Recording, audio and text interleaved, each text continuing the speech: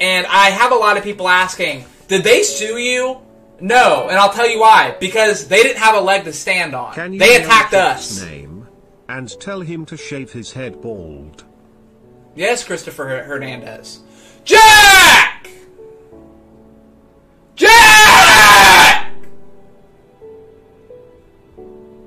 Jack!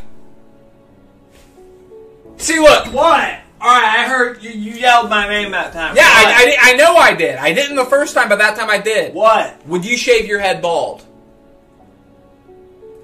He, he thinks he's so pretty and he thinks he has such amazing hair that I think for a thousand dollars he would not shave his head bald.